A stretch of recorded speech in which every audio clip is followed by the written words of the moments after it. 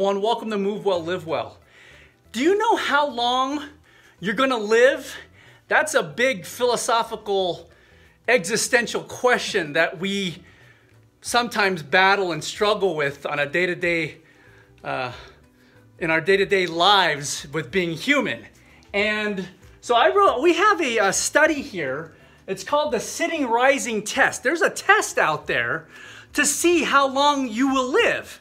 And it's called the sitting rising test or the SRT test. And it was developed by this doctor in Brazil. His name is Claudio Araujo. I'm now I'm, I may be butchering his name, but Claudio Araujo is his name. And in the European Journal of Cardiology, um, he developed this test. There were some test subjects and stuff, and he came up with this test. And we're going to go through how you do this test here as to see whether or not you're going to live. But um, in a certain amount of time. Well, basically, it's on a scale of 10 points, 10 total points. And if you score less than eight points with this test, you are two times likely to die in the next six years. That's it. Six years is all you got. If you score less than three points on this test, you are five times, five times likely to be gone in six years. Now, we didn't develop this test. It was done by the Dr. Araujo here, and it was published in the European Journal of Cardiology. We're to put that link in the description. You can look it up yourself uh, as far as the article goes. And here in just a second, we're to go through the, the steps on how to do this test so that way you can do it at home and have some fun and see if you're to be gone here in the next six years. So, More likely join us here in just a second. We're going to go through that. Okay, so the sitting rising test is on a score of 10 points maximum. You wear something comfortable before you do this. Um, obviously, you- it's good to be barefoot so you have good traction and stuff. So comfortable and barefoot, so your gym clothes will be fine. Uh, so it's easy.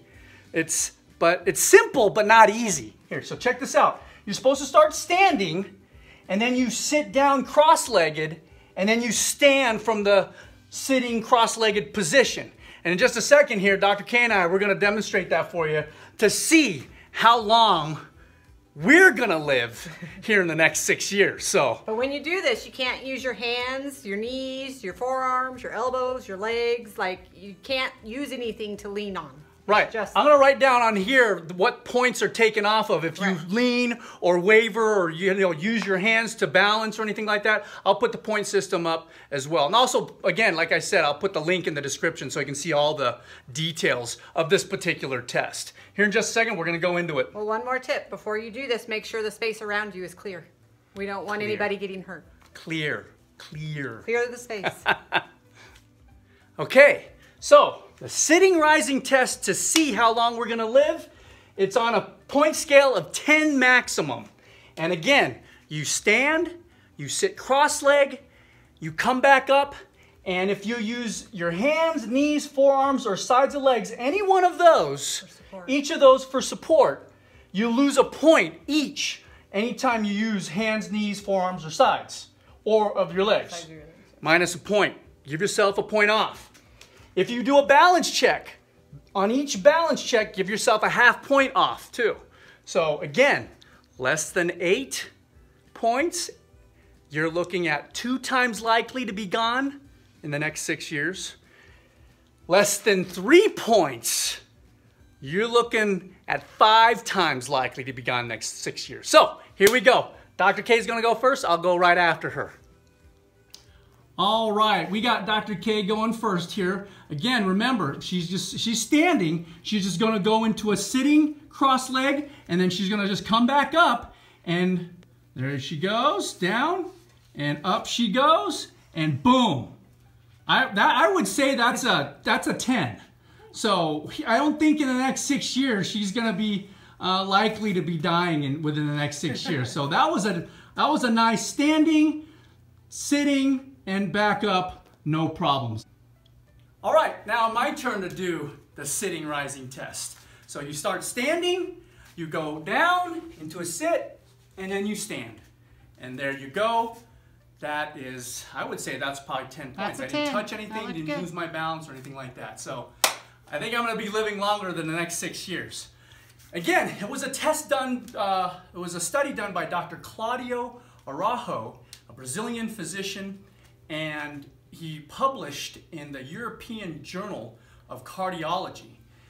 Again, it's on a 10 point scale, and if you have to use your hands and knees, any kind of having to touch anything anywhere without just doing that up and down thing, you're gonna take off one point. Anything less than eight points, you're two times likely to be dead in the next six years. Less than three points, five times likely. Five times likely to be dead in the next six years. So, anyway, it's just a fun thing. Check it out. We'll put the link in the description. If you have any questions with this video, drop it off in the comment section below. We thank you for watching. We appreciate it. If you're new here, hit subscribe. And when you hit subscribe, make sure you hit that bell notification button because that'll keep you in the loop with subsequent videos coming here in the near future. That way you can continue to move well, live well. Also, I know you know folks who are thinking, hey, how long am I going to live? Everybody kind of wants to know how long they're going to live.